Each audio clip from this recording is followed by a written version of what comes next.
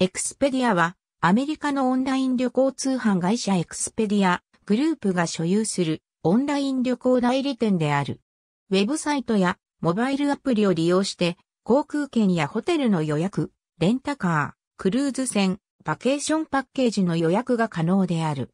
エクスペディアグループはアメリカ合衆国ベルビューに本拠地を置くオンライン旅行会社であり、エクスペディアの運営のほか、多数のグループ企業を統括している。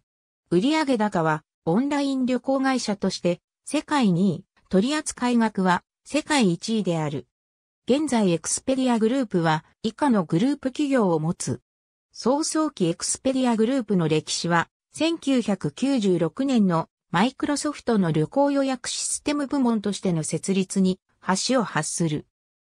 1994年、同社で MS-DOS と Windows 95の開発に従事していた当時27歳のリッチ・バートンは、ビル・ゲイツやスティーブ・バルマーラ幹部にインターネットを利用した旅行予約システムの開発を提案。承認を得た後1996年10月に運用開始となり、インターネットを利用した旅行予約システムとしては世界で2番目のローンチであった。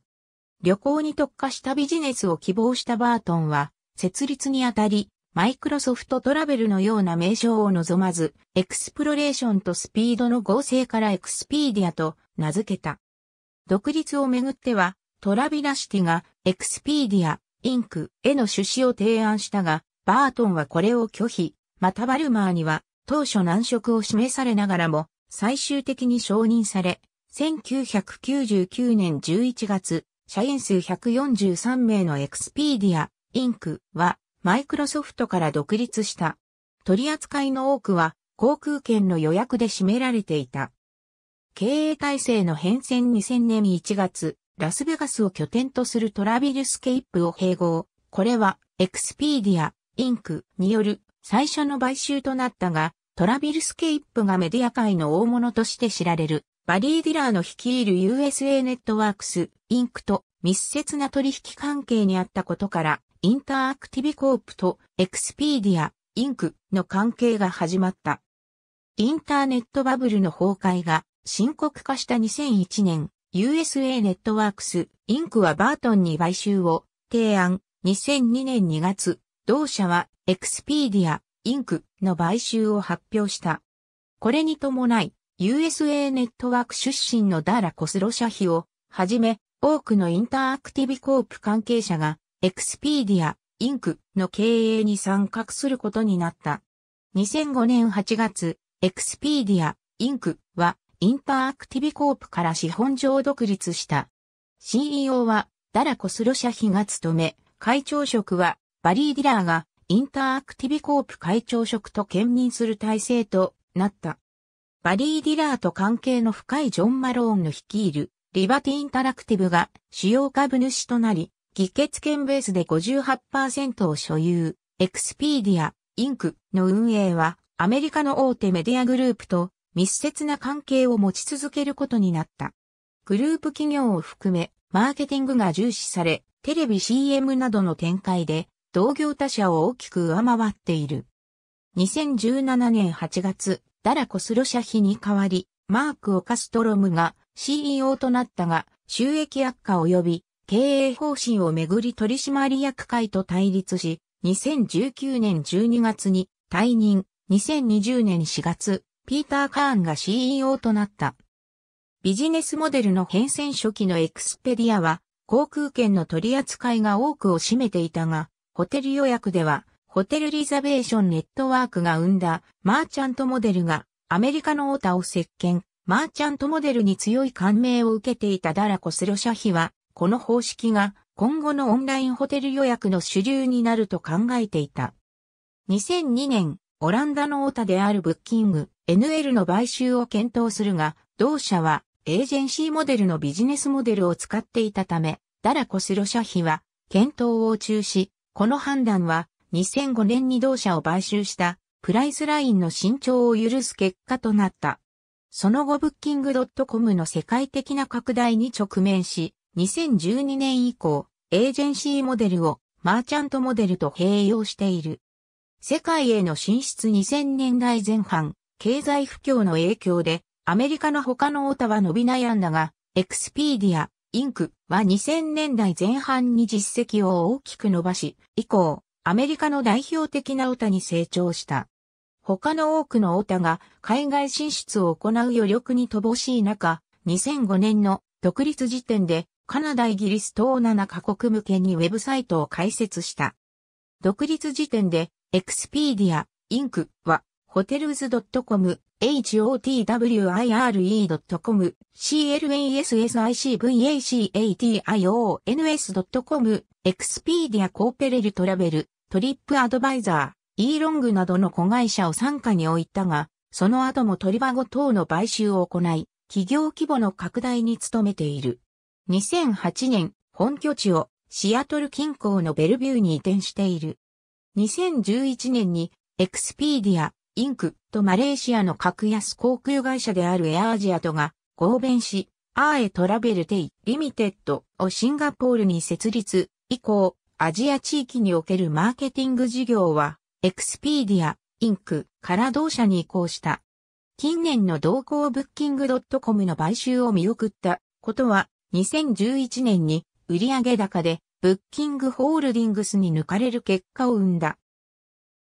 ただし、同社が各国の航空会社によるコミッションカットへのシフトを受け航空券の代理販売を縮小、選択と集中を進める方針を取ったのに対し、エクスペディアグループは総合旅行サイトにこだわる経営方針を取り、航空券の代理販売事業も堅持している。独立したトリップアドバイザーが競争相手となり、2010年以降、全世界のホテル等の宿泊予約数では、ブッキングホールディングスに一歩譲っているが、エクスペディアグループは、単価の高額な航空券予約の割合も高いことから、グループ全体の取扱額では、2012年以降、現在まで第1位を維持している。2015年に中華人民共和国の eLong を売却する一方、 Travelocity とオービッツワールドワイド、バケーションレンタル大手の HomeAway を相次いで買収し、経営規模の拡大が進められている。現在、エクスペディアグループ総体では、アメリカ国内で半分以上の売り上げを計上する構造となっている。アメリカ国内で高い市場シェアを持つ一方、ヨーロッパやアジア地域における市場シェアの伸び悩みも指摘されているが、2017年には東南アジアで最も多い人口を持つインドネシアの大手 OTA である Traveloka への少額出資を行うなど、海外での投資を多角的に継続している。2018年3月、ブランディングアップデートに伴い、社名を Expedia, Inc.からエクスペディアグループに変更した。ブランド別の売上構成は、エクスペディア、ホテルズ .com、オービッツワールドワイド、 Travelocity などのコア OTA 合計で全体の約78%、バケーションレンタルが約11%、トリバゴが約7%、イージャーが約5%となっている。日本におけるエクスペディアグループの事業は仕入れと販売で分社化体制が組まれている。宿泊施設等の仕入れに関しては、エクスペディアグループの100%子会社であるエクスペディアホールディングス株式会社が担当している。同社はエクスペディアに加えてホテルズ .com などグループ傘下のブランド全般に関する仕入れを行っている。2019年現在、東京、大阪、名古屋、福岡、那覇、札幌にオフィスを持つ。販売に関しては、エアアジアとの合弁企業、 AAE Travel Pte. Ltd.の設立を受け2012年3月、その日本法人アーエ、ジャパン KK の担当となっている。日本国内ユーザーに対しては、日本進出初期から、主に海外旅行向けのオタとして、ブランディングを行っており、2010年7月より、日本版オリジナルキャラクター、エクスベアを設定したブランディングを開始、2011年2月より、日本でもダイナミックパッケージの販売を開始した。2011年10月からじゃらん net が海外ホテル予約サービスに関して提携開始、日本の OTA との提携に加え、旅行会社専用予約プログラム、熊の手を同月に開設し、JTB、近畿日本ツーリスト、阪急交通社など、店舗型旅行会社との提携も行われている。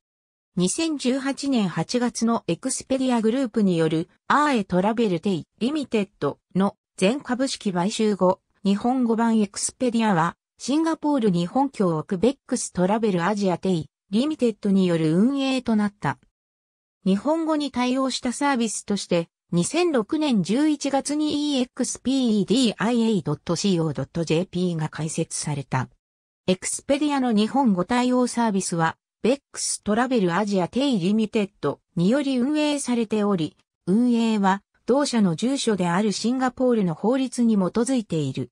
ネット予約が基本であるが、電話予約も可能で、24時間対応のオペレーターが利用者の代わりに検索し、システムに入力する。日本語によるコールセンターをオーストラリアのシドニーとメルボルンに開設する。その後人件費などの初版理由より撤退し拠点を中国とマレーシアに移転した。2018年に初めて日本に日本語によるコールセンターを開設した。現在は24時間オペレーター対応を行っているが、航空券についてのキャンセル、変更業務は朝7時から夜24時までの受付となっている。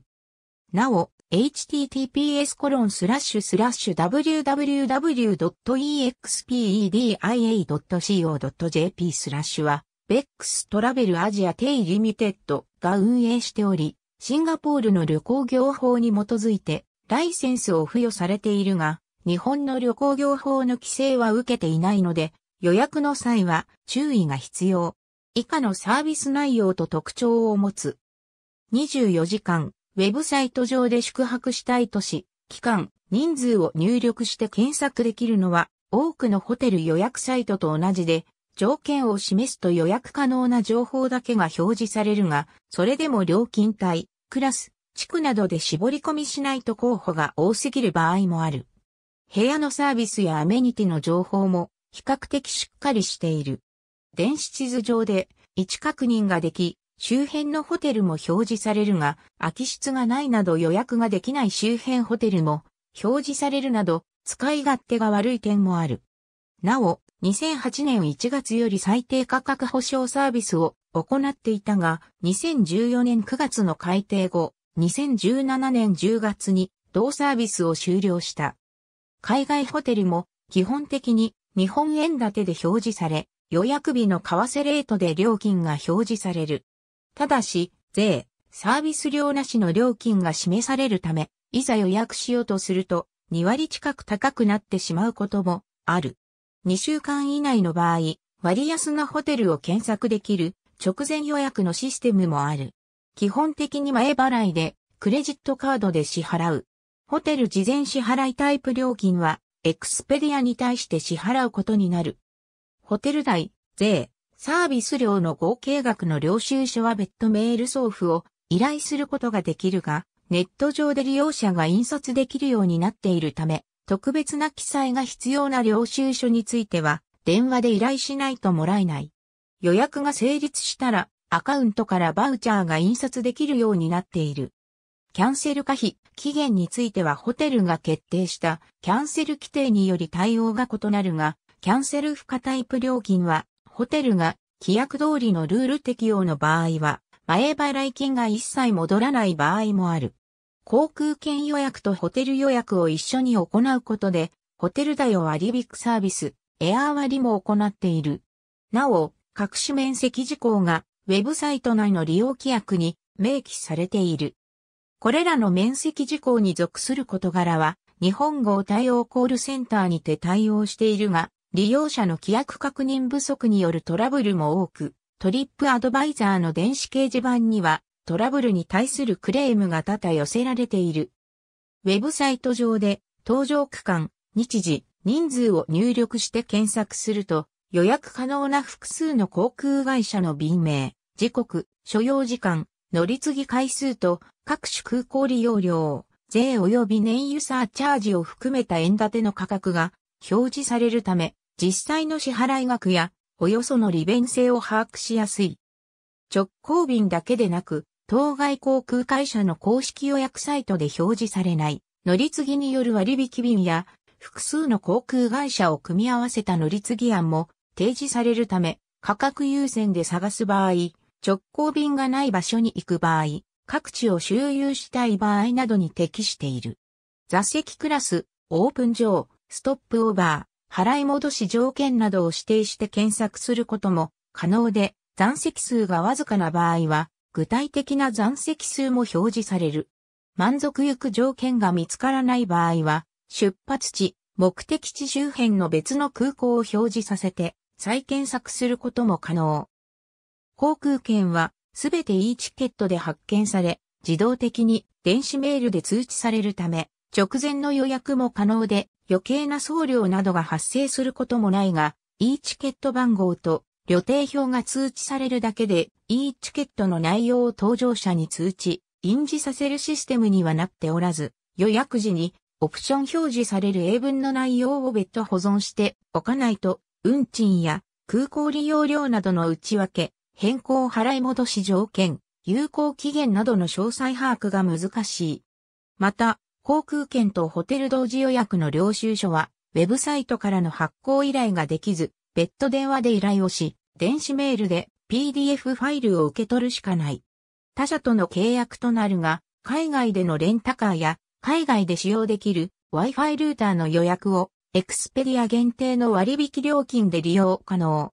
2016年2月から現地オプショナルツアーも検索可能となった。エクスペディアグループに関するカテゴリー。ありがとうございます。